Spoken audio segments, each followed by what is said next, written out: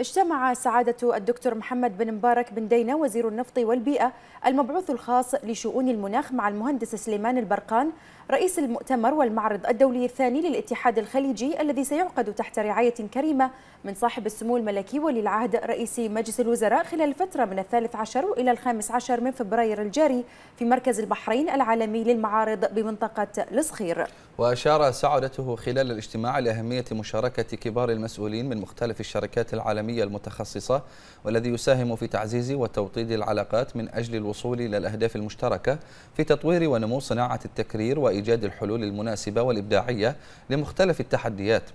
فضلا عن أن الفعالية تعتبر فرصة لتبادل الخبرات والاطلاع على أحدث ما توصلت إليه التقنيات في هذا المجال الحيوي والمهم.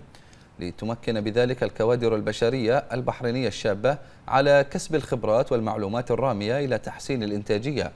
وخلال الاجتماع استمع سعادة الوزير لشرح مفصل عن برامج وأنشطة المؤتمر والذي يشتمل على برامج متكاملة من 18 جلسة فنية نقاشية ودورات قصيرة بمشاركة أكثر من 150 متحدثا من مختلف دول العالم بالإضافة إلى الفعاليات الأكاديمية والشبابية المتخصصة.